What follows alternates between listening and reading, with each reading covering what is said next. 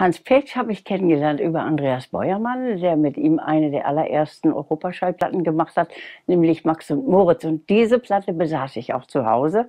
Und als ich dann eben die Chance kriegte, Hanni und Nanni als Folge zu realisieren, da war mir ganz klar, da muss Hans Petsch ran es wurde immer der Erzähler gesondert aufgenommen. Wir hatten eine kleine Extrakabine, in der dann Hans Petsch saß. Ich konnte immer was einspielen, aber er hat nie in Rolle mit den Mädchen mitgespielt. Das gibt es nur ein einziges Mal bei Alfred Hitchcock in den drei Fragezeichen, dass da der Erzähler auch mitspielt.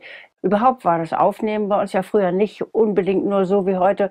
Man kommt, man macht seine Arbeit, na, sagt noch vielleicht schön Hallo und trinkt noch eine Tasse Kaffee und dann geht man wieder weg. Nein, nein, wir haben schon auch miteinander Spaß gehabt. Im Garten, wir sind auch mal rudern gegangen, dass man ein bisschen frische Luft kriegte zwischendrin. Also ihm hat es immer Spaß gemacht. Als Menschen habe ich ihn erlebt als einen ausgesprochen bescheidenen, sympathischen, liebenswürdigen, ja, er war achtungsvoll. Äh, ich kann mir gar keinen Menschen vorstellen, der derartig reizend und nett ist bei aller Berühmtheit oder beziehungsweise er hat ja eigentlich gar nicht die Berühmtheit gekriegt, die er hätte haben sollen. Er war einfach rundum ideal, wunderbar. Und wir waren auch befreundet später. Wir waren auch zusammen zweimal auf Elba mit seiner Frau und seinen zwei Dackeln.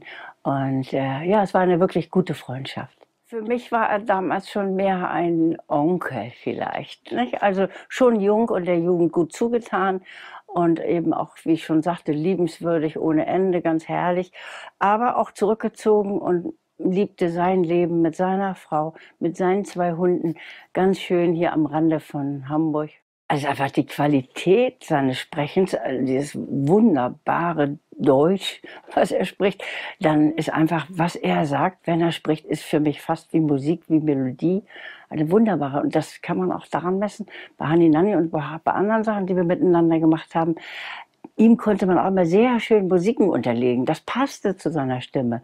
Einfach dieses schöne, warme Timbre, das ist unglaublich schön. Es ist eben nicht umsonst millionenfach der Märchenonkel geworden.